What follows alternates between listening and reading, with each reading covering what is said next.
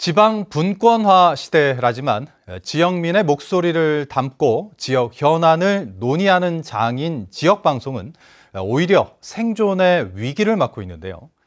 최근 국회에서 논의가 시작된 이른바 통합방송법에 지역 방송의 활로를 담아야 한다는 목소리가 커지고 있습니다. 김태욱 기자가 보도합니다. 방송과 통신의 경계가 사라지고 새로운 매체가 속속 등장하는 등 급변하는 미디어 환경 속에 생존까지 위협받고 있는 지역 방송. 뉴스와 다양한 프로그램을 통해 지역민의 목소리를 담고 다양한 현안을 논의하는 역할에 비해 정부의 지원은 턱없이 부족합니다. 지역 방송을 돕겠다며 만든 발전 기금은 해마다 40억 원에 그쳐 43개 지역 방송사들이 쪼개 쓰는 처지입니다. 20년 만에 방송법 전반을 대폭 손질하자는 논의가 시작된 국회에서 열린 토론회에서는 법적으로 지역방송 발전기금을 독립시키고 규모도 키우자는 목소리가 나왔습니다.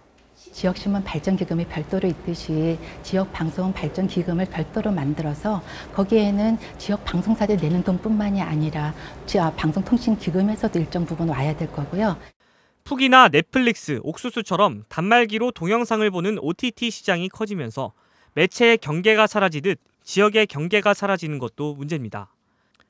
다음 달 지상파와 통신사가 결합한 국내 최대 규모의 거대 OTT가 출범할 예정이라 지역의 방송 권역 보호도 시급해졌습니다. 정부 방송법 안으로 포섭해서 일단 어, 지역 방송에 대한 비중을 또 관심을 높인다는 데 1차적인 목표를 뒀었습니다. 지방 분권화 시대에 걸맞게 서울에 의존하는 지역 방송의 구조 역시 체질 개선이 필요하다는 주장도 제기됐습니다.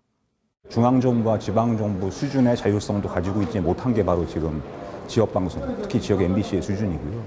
그런 점에서 가장 중요한 것은 첫 번째는 인사권에 대한 자율성입니다. 통합방송법에 대한 국회 차원의 논의가 뜨겁게 달아오를 전망인 가운데 지역방송의 활로가 어떻게 담길지 주목됩니다. MBC 뉴스 김태욱입니다.